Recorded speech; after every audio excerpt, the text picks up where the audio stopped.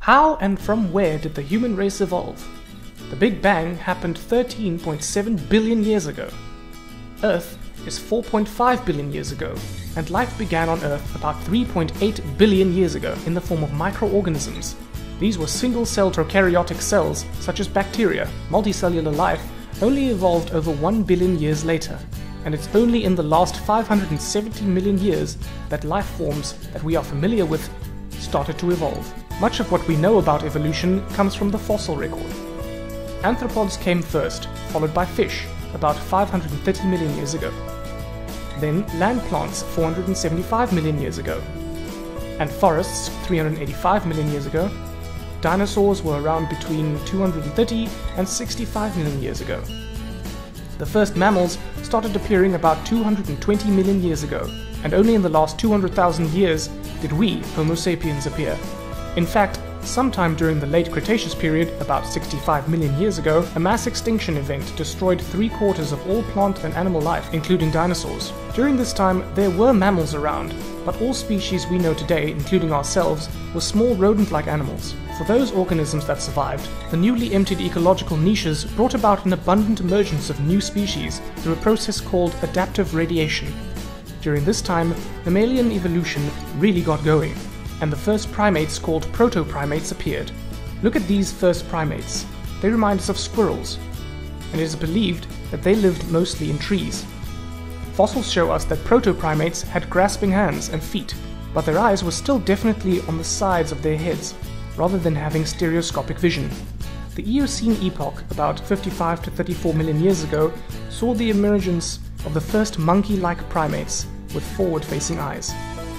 During this time, an important evolutionary change happened inside primates' heads. The hole, known as the foramen magnum, which allows the spinal cord to connect to the brain, began to shift from the back of the base of the skull towards the center.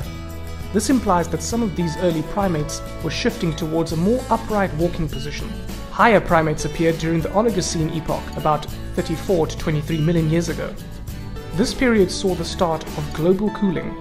Grasslands began to expand and forests shrank. Animals evolved to fit the new open landscapes, and many predator prey species arose as a result.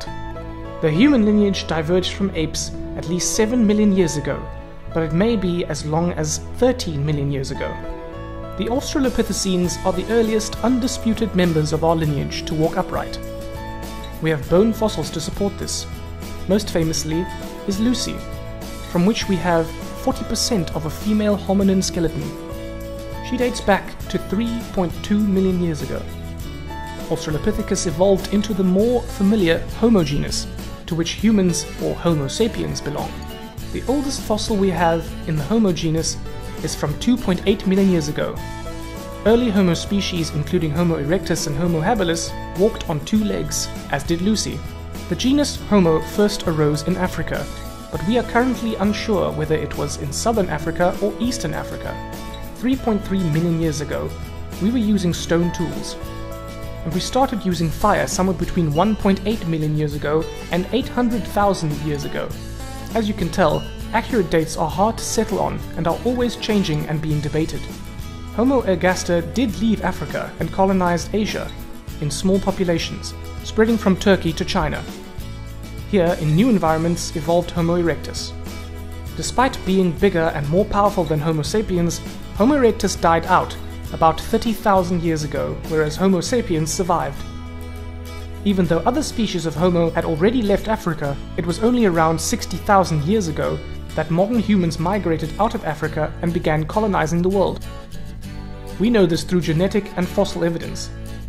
Our ancestors did continue to interbreed with Neanderthals and other species in the Homo genus. Scientists currently recognize 15 to 20 different species of modern human, but this is not agreed upon. Neanderthals died out about 30,000 years ago due to the Ice Age limiting food supplies. Homo floresiensis only died out about 12,000 years ago. They were also known as hobbits. In the last 100,000 years, complex language, art, and agriculture emerged. It was these complex developments which helped Homo sapiens survive, where other Homo species did not. That is not to say that they did not use tools or have methods of communication. just that our ancestors were more complex and so could overcome environmental difficulties such as the Ice Age. So from this video, you should know that many different species of Homo evolved from our common ape ancestor between 7 and 13 million years ago, and until only 12,000 years ago, there were other Homo species living on planet Earth with us.